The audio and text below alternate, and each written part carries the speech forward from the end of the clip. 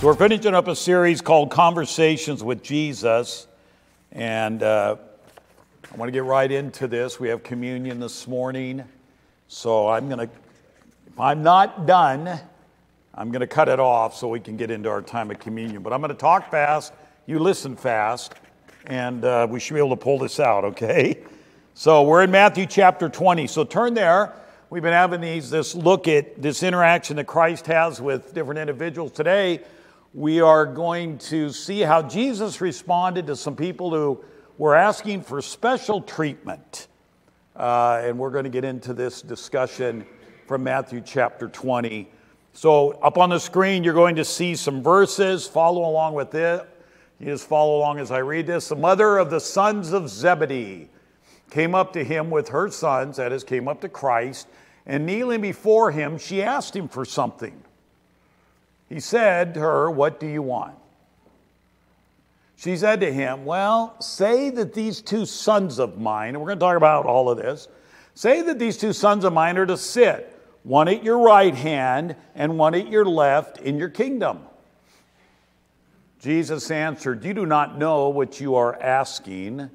Are you able to drink the cup that I am to drink? They, meaning James and John, the sons, said to him, We are able.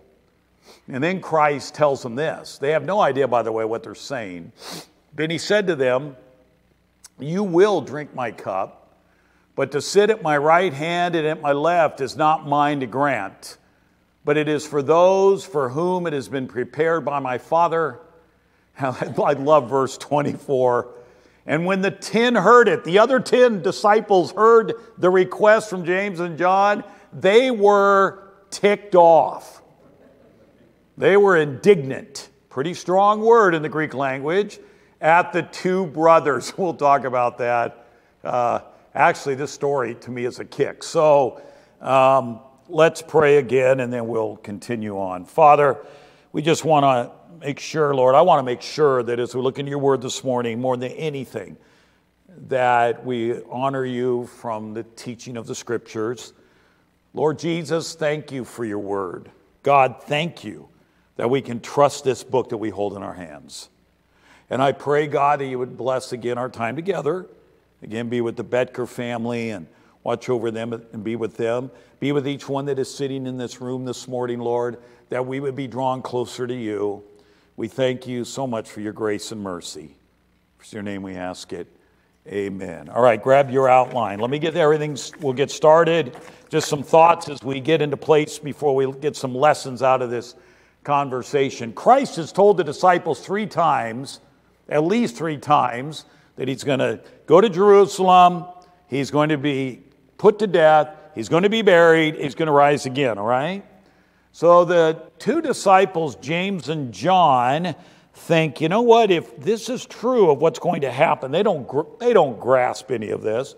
But their thought is, well, if this is going to happen, if Christ is really going to die and raise from the dead, that means he's probably going to usher in his kingdom on earth. So they take advantage of that and think this is a great time to ask Jesus a question.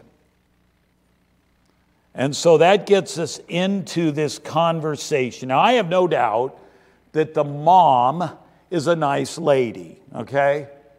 Some people think her name is Salome, who's a woman in the Gospels. We can't prove that. But James and John and their mom um, probably are off in the corner talking about that after Jesus has said he's going to die and rise from the dead. And they kind of discuss this. And what I get a kick out of is that James and John are known as the sons of thunder.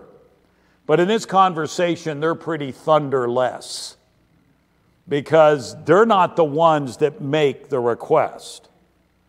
Mom does. And so this is, you know, mom's looking out for her sons, right? And so I don't have any doubt that she's a very, very nice lady. Uh, probably really nice. I'm James and John. Funny thing is, they've been with Christ for about three years by this time. They should know more than anybody that they should be able to just go and talk to Christ, right? They've been with him for three years. Holy moly. I noted a few things on your outline, and you know, there are a lot of nice people. I mean, I've met a lot of nice people, but you have. You guys are all nice people. you are, really.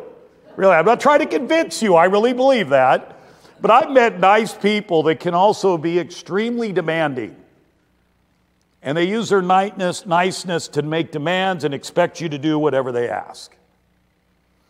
And uh, we've all make demands sometimes. We all have our expectations. Some people can be pretty blunt, which can lead to unnecessary tensions sometimes. It's not to say that what is asked is wrong, okay? But it does matter how we ask it and how we handle things. It really does. And so when I interact and I read this story, I don't think that the mother of these two disciples has any ill intent. I don't think she's trying to cause issues.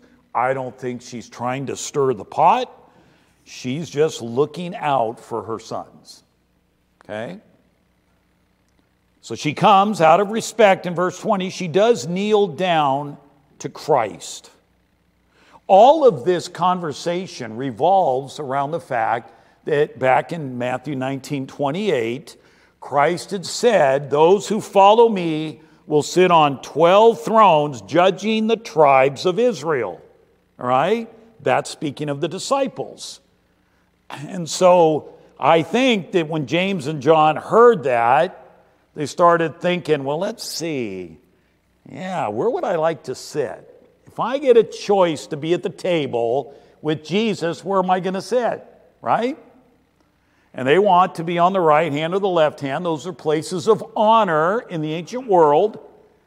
Uh, if there was a host at a party and you were a guest, the person sitting on either side of the host was the honored guest. And so the disciples decide this is what we want. I want to be next to Jesus. I can't necessarily blame them for that, but it's how everything comes, how everything is handled. I mean, it just isn't going to set well. The brothers are looking for special privilege. That's what they're looking for. And as we're going to see, Christ is going to teach them, and it, some things that I reminded my I had to be reminded of as I read through the story. He's going to teach me about what real privilege is and what really matters. So be honest, the timing is bad by the brothers, and the request is wrong. It is, it just is. And you know this that sometimes encounters can lead to tension. Right? And so we're going to talk about this conversation real quick here and note four things that take place uh, as this thing unfolds, okay? So here's the first thing I want us to look, think about. There are a lot of times when we throw out an idea or a demand and we don't really think through the ramifications of how what we're saying might affect other people, right? I get an idea in my head, this is what I think Oakridge should do, or this is what I think somebody should do. And so it's not the idea that it's bad or anything, but sometimes we don't think through how it impacts other people. We don't. We get very tunnel vision in how we're handling things. So many people have great ideas. And sometimes, in our push to make those things happen, we don't consider the effect on others. I've done that as a pastor throughout the years. We push, push, push for something because I'm so convinced of it, but I haven't thought through of the effect it would have on the church or other people, and God has had to put me, put the brakes on. Maybe He's had to do it for you. It's not that the ideas are necessarily wrong or bad. So, this whole interaction begins in verse 20. We've read it, but let's go back and read it again. The mother of the sons of Zebedee came up to him with her sons. Now, James and John are kind of trailing behind their mom, or maybe they're with her. uh, but she is the one that's the main spokesman, I think. But they're all in this together. And uh, kneeling before him, she asked him for something. Now, I want to say something. This same story is found in Mark chapter 10. And in Mark 10, Mark says that this is, according this is Peter. Mark is writing based on what Peter remembers. Here's what was said Teacher, now get this. You'll relate to this. We want you to do for us whatever we ask of you. Now, have you ever had anybody come up to you and go, Will you do something for me? And they won't, and they're expecting you to say yes, but you don't have a clue what it is. You ever had that happen? I have. That's what they do. Lord, now, we're not going to tell you yet what we want, but we want to know that you're going to do, give us the answer that we want. If that's not manipulation, I don't know what is. But now we're dealing with Jesus, right? I've learned a long time ago if somebody says to me, Hey, I need you to do something for me, will you do it? Before I give you a yes or a no, I want to know what it is. Okay? If, uh, opinion on what it is, I might tell you no. And that's what she does. They do. And in verse 20 of Matthew 20, where it says she asked Jesus, the Greek is they asked for themselves. James and John are thinking only of themselves and what they can get out of the future kingdom and where they're going to get to sit with Jesus. They could care less of the ramifications and the bleed over on the other disciples and anybody else this might affect. I just love that. I, I have to give them credit for the bluntness. I don't know if I'd have the guts to say to Jesus, Hey, Jesus, I got a question for you. I want you to do for me something. Just tell me you'll do it. So after he turns me to a, a you know, a little pile of charcoal, he'll say, What was that you had in mind, Scott? Christ doesn't give them an okay, whatever you want. He asks a question of them and says, in fact, it's in Mark 2, it says, uh, What do you want me to do for you? And in Matthew 20, 21, he says to her, What do you want? One of the things that you and I need to think about is sometimes when we start come up with great ideas, or in this case, not such a great idea. We need to think about others because I don't know about you, I get very, I can get very focused on what I want to see accomplished or what I want, and I don't think about is there effects positively or negatively on others. So when even people come to me with ideas, even if it's church or things, I I think through, okay, how is this going to affect other people?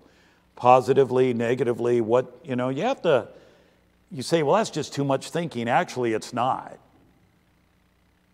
Because if you're involved with other people, like in a church or in a community, family, whatever, decisions do affect other people. They do, whether you want to admit it or not. There's not a, such a thing as lone wolf Christianity. There's not such a thing as, you know, you know, that the elder board at Oakridge just up here and we're like dictators and all this. No, not at all. So I have to think through this. They had not, they had not thought this through at all, and the Greek brings that out. The request was only for the family. That's it. They didn't care about the other t- 10 disciples and how this would affect them at all. They're, they're just thinking about themselves. So just remember that. Not that a request is bad, it's not that it's wrong, but first of all, don't get demanding. Okay? We're not talking about sin issues where we confront sin, but don't be demanding it. Man, this is the way it's got to be, and blah, blah, blah. Remember, you can bring something up that's not, doesn't have to come across as, you better do it my way.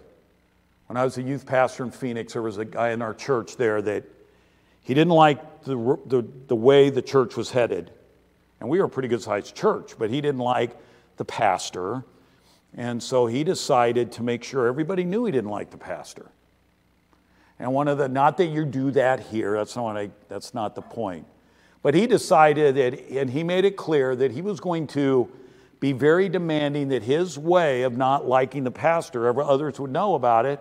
So he just went up and told, he told us as a staff, I'm not going to give another dime to this church until this happens.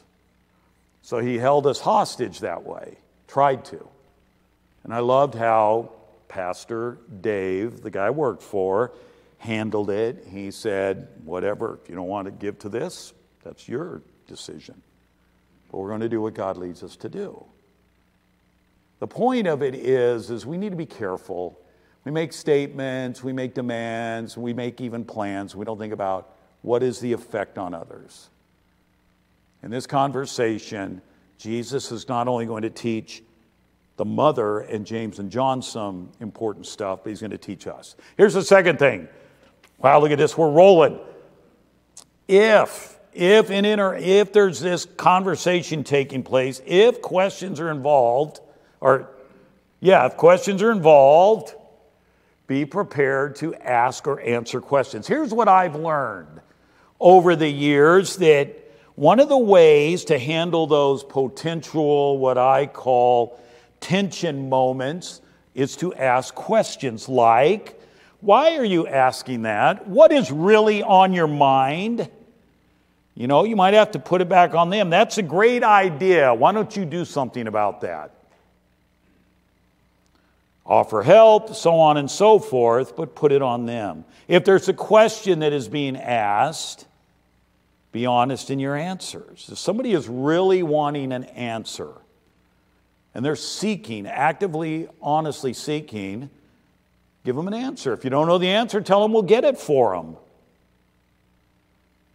And so, as this begins in verse 21, Jesus says, What do you want? Now, here's what to me, and you don't necessarily see it in the English translation, but when it says, she said to them, to him, say that these two sons of mine will, are to sit, one at your right hand, one at your left, in the kingdom. Whether the Greek word can mean it's a polite request or it's a demand, okay? So she could be politely saying to Jesus, Well, you know, Lord, I'd like my sons to sit next to you. Or it could be that she's looking at Jesus saying, This is the way it needs to be. My sons are to sit next to you. Either way, the expectation is that when Jesus lays out the thrones, the 12 thrones, okay, James is on one side and John's on the other side of Christ, on the right hand and the left hand. In other words, when the demand is made, the, or the statement is made by her. The text can't always see it in English, but I think if you read it, you do see it. That there's a demand that he'll do it, and the expectation, yes, Lord, you need to do this for me. Now, how many of us really like that kind of in your face statements? She wants her sons to be in places of honor. They wanted the places of dignity, and I have no doubt that there's a little bit of pride at play here. Some people just think it's got to be their way. That's the way they are in this. Jesus' response to them is not harsh at all. He informs the brothers, and I love this, they have no idea what they're asking. None. Because if you look, verse 22, you do not know what you are asking. The word know there means you have no concept, you have no knowledge of what you are hoping or asking for. They think this is a cakewalk. Christ will die, raise from the dead, get the kingdom started, we'll get to sit on the thrones. Little do they know at this point of what's ahead for them. Even when people are making demands or you're having these conversations, it can get a little bit tough. We should never be harsh. We need to answer the right way. Some people who make things difficult are very one dimensional, and that's how James and John were. And Christ challenged them with questions. You don't have any idea. Are you able to drink the cup that I'm going to drink? Flip over your notes. There's a third thing I learned from this, and we just said this, but he builds on it. Even when we're dealing with situations like this, we need to be open and gracious. Jesus doesn't necessarily have a problem uh, asking them the question. He, well, he doesn't in verse 22. Notice, are you able to drink the cup that I am to drink? And here's their response We are able. They have no idea what the cup is. You know what the cup is? It's the cup of suffering. It's what Christ in the Garden of Gethsemane prayed for God to remove. It's the cup of agony. It's the cup of, and these disciples, they have no idea. They're probably thinking, yeah, good, you know, a good glass of uh, peach tea would be good about now. You know, that's not it at all. They have no clue what they're asking. No clue. Christ doesn't rag on them, He doesn't rake them over the coals. He simply challenges them. He's gracious, but He's firm. You have no idea what you're asking. And the idea is that they haven't grasped anything that He has said. The word no kind of drifts back in their time together. It's like he's saying, Of all this time with me, the things that I've taught you, the things that I've warned you about, you haven't understood it yet. You don't know. You have no knowledge of what I'm talking about. He's gracious and he's kind, but he's firm. So he says, and when they say we are able, they have no idea what they're saying. They just, anything, they're going to say anything to get their way, is my opinion. So when Christ says, well, you know, are you able to drink the cup? Oh, yeah, if it gets to sitting on the thrones next to Jesus, yeah, I can drink the cup. And I love what he goes on to tell them. Well, guess what? You will drink the cup. But as far as who sits where, that's not my call. I love that. He just lays out the facts. He's gracious, he's kind. And we need this in conversations. Even if you have somebody who is just so determined that they're going to get what they want and you're kind of hesitant, you're not sure it's best, we still need to be gracious. We still need to be kind. We need to make them look at all the angles of what they're saying. I remember years ago, I had this great idea at our at church in California that we would open a counseling center.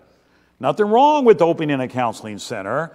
And so I kind of really pushed the idea to the church. We'd open a, it'd be a, non clinical counseling center. We would train people in our church uh, through a particular program called Wise Counsel, and then we would open up our church to people who just wanted to talk and needed help. They would have to sign waivers and all that. We were non clinical, non professional. And I remember, man, I was so committed to this idea. I thought it was the greatest. I thought, man, this is probably my brightest moment in history. And the board looked at me and said, No, not now. So I had two choices. I could start into the old pout mode, you know, you don't care about souls. You know, I could have done all of that, or I could make a better and wiser decision and wait to see what God's timing was or if that was even the best thing. And I chose that way to go. A year later, we talked about it again. We opened the counseling center. But I was glad for people who said to me, you know, it's like me saying, hey guys, I want to sit at the right hand of Jesus. And they said, no. You have no idea what you're even talking about. They were gracious and they were kind. You see, we need to think things through. Things affect other people. We need to be gracious and kind as we deal with them. We need to interact, ask questions, listen to questions. And in this conversation, what I find fascinating is that, again, they have no idea what is going on. It won't be very long before James will be put to death by Herod in Acts chapter 12. And John will live out his days, last days of his life, in exile because the Romans feared him so much and, what, and who he was. They would indeed, you know, drink the cup of suffering. But Jesus reminded them, I have no clue where you're going to sit. I'd have just been this way. I'd have been mean enough to say, you know what, guys? I'm going to put you at the end of each side. You get the farthest throne away. I, that would have been just me being ornery and being my sarcastic self. I'd have said, hey, you guys, I don't want to. You're whining. James, you're over here, farthest I can get you on the right. And John, you're over here, farthest I can get you on the left. But no, the Lord just says, that's not my call, guys. You know?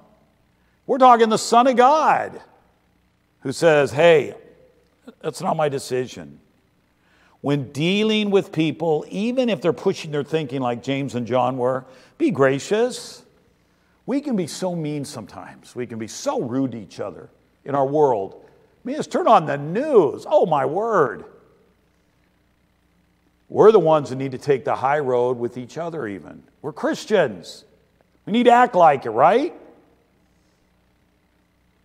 I say that to myself. Be open and honest. There might be some pushback. James and John they're not overly excited, I don't think. They're not getting what they want. But there's a fourth and final thing I want us to see. When things, when you're having uh, conversations and people are throwing out their ideas, demands, whatever it is, do you know that sometimes there's fallout? So in here in Matthew, Remember what we read? Verse 24 tells us the disciples, the other disciples, when they heard this, were indignant. They were, in the good old English vernacular, ticked off. And here's why I think they were ticked off they didn't think of the question first. Think, uh, think about it.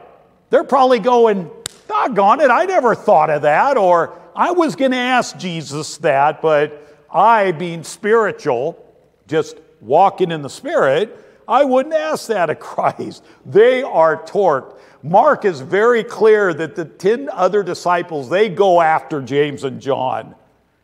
It is a verbal assault. They're mad. And uh, Jesus didn't sell tickets to the show.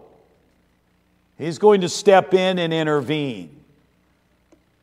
Managing potential fallout is not always easy because now you've got 12 people. It's 10 against 2, so the odds aren't going well for James and John.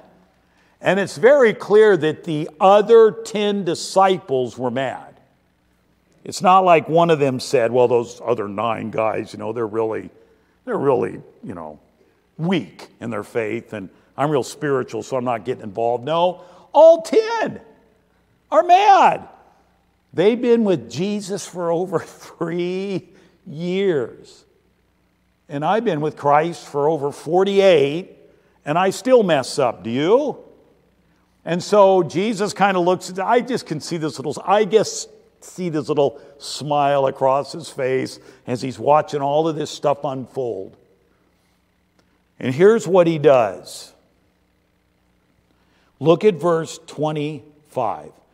Jesus called them to him. He says, Fellas, come here. Let's just sit down and have a chat. When Jesus says something, you listen.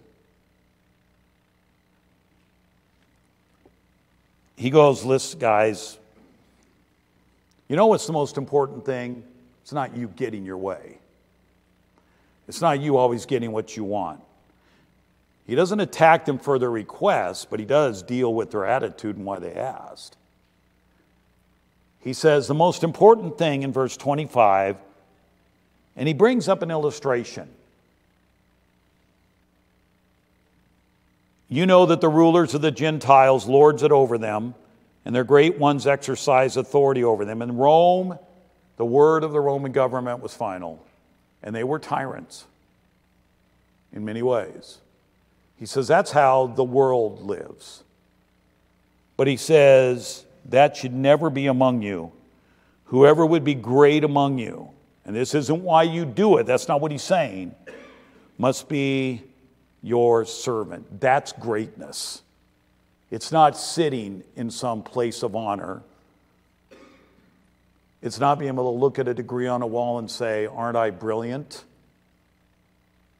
Nothing wrong with degrees. That's not my point. You know what true greatness is? It's serving. It doesn't mean you can't have good ideas. It doesn't mean you shouldn't bring up good ideas, even for the church to consider doing. That's not it at all. And this has nothing to do with, oh, people have been inundating me with ideas. That's not it at all.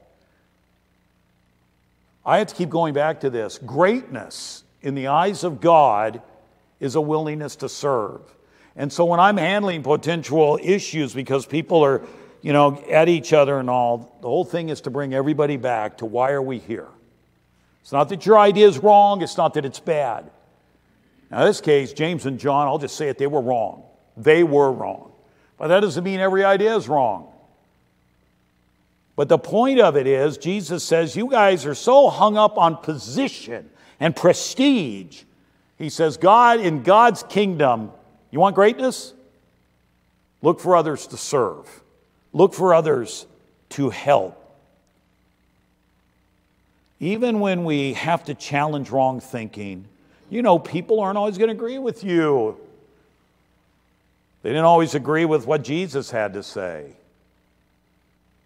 But Colossians 4 tells our speech to be seasoned with salt, it's to be gracious. You know, I don't know what all happened in the end. In fact, there's an indication in another gospel that things kind of continued on as they're walking down the road. Then they're arguing about who's the greatest in the kingdom. And it's like Jesus has just talked to them, and they still don't get it. So I, I just want to remind us that, you know, in this conversation with Jesus, this, you know, it's really not about me build me building some kingdom on earth as a pastor. I just want to serve the Lord and serve you. And, when, and, and it has nothing to do with people bringing, I mean, people in this church have great ideas, and we've implemented a lot of them and to do ministry and to help others and to reach out. And there's things that cross my mind, and I think, oh, that'd be cool to do. but God then says, no. Not right now. The point I'm trying to make is that we just need to realize that everything we do as believers does impact other people. Decisions I make, things I say, things I do, it impacts other people. And I want to be great in God's kingdom not so that I get more crowns, you know, than anybody else where I can boast, you know, and brag about how many I have. And no, you know why we want to be great in God's kingdom? Because when you do that, here's your sole focus. You want to honor and glorify God by serving. And if you don't have a servant's heart, if I don't have a servant's heart, I've missed the boat. I'm not here for myself. You're not here for yourself. You're here for others. It's that simple. The self part is that we grow in our knowledge of Christ and become more like Jesus with the whole concept that we're flowing out to others who we are. That is the Christian life in a nutshell, as far as I'm concerned. All right? Let's pray, and then we're going to enter into a time of communion. All right? You can find more messages like this one at oakridgebc.org and like us on Facebook for encouragement and event updates right to your newsfeed. Thank you for listening to today's message from Oakridge Community Church.